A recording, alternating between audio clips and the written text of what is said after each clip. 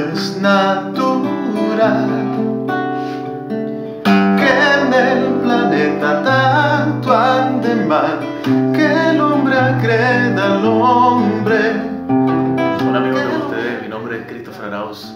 ¿Qué estoy haciendo yo para prevenir el contagio del COVID-19? Pues en primer lugar, lavarse las manos con constancia, con agua y con jabón. En segundo lugar, es evitar aglomeración. Prevenirlo está en tus